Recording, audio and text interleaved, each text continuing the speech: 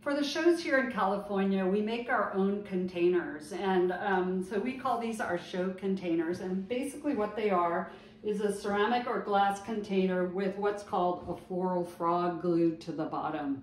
And we like using those because um, they're reusable.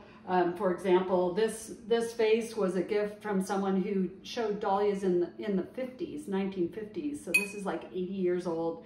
And what usually happens when people are done showing, they pass their their uh, containers down to the next person, which is really nice. So they they're kind of recycled and and we reuse them. And you know what you can do is once you have your floral frog glued into the bottom, then you can put these through your dishwasher and get them really clean for the shows. And actually that's something that's really important is that you have really clean containers for the show because if the water is dirty with, you know, even dust, um, that will get sucked up into the stem of the bloom and your bloom won't stay fresh as long. So I'm going to just show you some of the containers here that um, are, are good and some that really I wouldn't recommend. Um, so I'm going to start with um, the, a good container would be a ceramic container, maybe like this with a floral frog um, securely glued in the bottom. You want to put your at least your initials on the bottom so it shows um, you know to get your your um, containers back. This one has my whole name on it, but um, you can just put your initials. so small containers like this might be for singles that aren't very big, like maybe a a, a single or a collarette or something with a small thin stem and um, again the name on the bottom. Um, something glass like this definitely is usable but it's very light and the heavier it is the better because the bloom is tall and it can get top heavy and they get moved around like say you get you move to the head table, you you might have um, it moved like three times till it gets to the head table. And so it's nice to have a container that's really solid. Um, and so, you know, you can use anything like you see here. If you had a, you know, something like this that's ceramic, you can use that. An old teacup would work. If you had a ceramic um, vase or, or, or even like a pitcher like this, that would work. And then you're going to be gluing the floral frog to the bottom. So we're going to go around and talk about floral frogs a little bit here because some of them don't work that great. Um, so what you're looking for in a good floral frog is these little tines here or these little, they almost feel like um, pointed um, uh, nails that come up towards you, is you want them to be um, really close together that's important. And you want them to be at least three quarters of an inch tall. So these guys are pretty tall, half to three quarters of an inch, with three quarters of an inch being even better. And then what you don't want is to have a little short ones like this that are then pretty far apart. You can see how much farther apart that is than these ones here. So the tines are spaced much farther apart. So, and what happens is, like I did, I did glue this one in and these tines are spaced really far apart. And if I have a thin stemmed flower like this that I'm trying to stage, it's a hard to get, find one that I can only get onto one and I can't get my bloom to stay upright.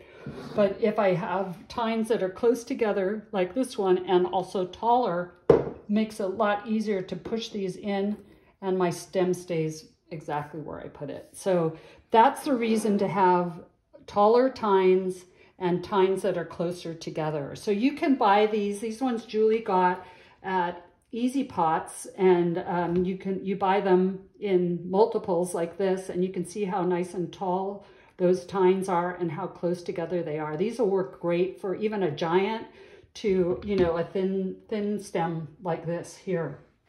The other thing, if you're planning on doing multiples like um, triples or fives, you're going to want to shop around for a longer um, floral frog like this um, because you have to have them in the same container. That's one of the rules for the shows. Threes and fives have to be in the same container. You're going to want to shop around for some of these longer ones. And these can get kind of pricey. Um, so if you can find them online or uh, at Goodwill or someplace like that, that's really great. Um, so it saves you um, some some cost that way. Um, the glue that we use is a silicone glue. It's 100% silicone. It's the glue you would might use in your shower or your bath, and it's clear. And what you do is you um, so I have this um, cup here that I'm going to use for a container, which is fine. Um, and I've got a nice long uh, floral frog here with nice long tines. It's perfect. The bottom is clean. The bottom in here is pretty clean. And what I'm going to do is just take the glue and do a generous amount of glue. If you just put a little bit like that on it, that wouldn't work. Um, you want to you want to give a really generous amount because you want it to squish out over the edge and kind of hold it in nice and tight. So you take it like this, stick it into the bottom, push it down, try to keep it centered. And then what you have to really do is wait 24 hours for it to dry. Um, what you don't want to do is the day of the show, start making your containers and bring this to the show. It won't be ready. Your flower will fall over. Um, and it, will make you, it'll also turn your water all cloudy. So it's, it's, take it from me, I've done it before, but don't try not to do that. So, so th these are all the different ones that you could stick in here. A big one like this, you would really want to add a lot of glue to, put it down like this, stick it in there. Um, these long ones, you might need some help with uh, something to get it down into this into the center uh, with the glue on it, down like that. So you can do all that. Here's one that needs to be repaired. So I'm going to put some glue, new glue on that and stick it on here and add some extra glue. Sometimes they pop off when you pull your flower out. It's not common, but it does happen from time to time. So um, I think that's pretty much it for now.